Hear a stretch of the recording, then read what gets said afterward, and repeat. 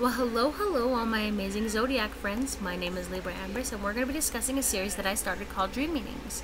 Now, I started it for all of us because we all, you know, get curious about what the hell is going on within our dreams. Now, um, remember that these are general readings and these are for yours as well as for my entertainment. And also, please don't forget to hit like, subscribe, and share. That way, you'll always be up to date with the content that I produce and you'll be a part of our family. And if you hear at any time a child yelling, I apologize. He's watching TV. YouTube anyway. Now let's get going, shall we? Now, parents. This chapter signifies parents, or is what we're going to be discussing. Have you ever dreamed about um, becoming a parent or dreaming of your parents? Well, me too. Let's find out what that means together. Now, dreaming of a father symbolizes authority and discipline, while dreaming of a mother symbolizes love and protection, depending, of course, on how the dreamer felt about his or her parents.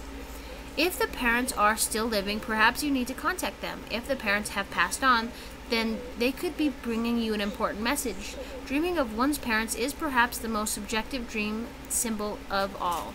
The dreamer's relationship with his or her parents, as well as with other symbols in the dream, need to be considered before a workable interpretation can be found. The astrological parallels are Saturn for father and the moon for mother the tarot parallels are the Emperor and the Empress. Now, I hope this helps. Thank you so much for listening to me. My name is Libra Empress. Please don't forget to hit like, subscribe, and share, and join me again for tomorrow's daily dream meaning, alright? Alright, I love you. Bye.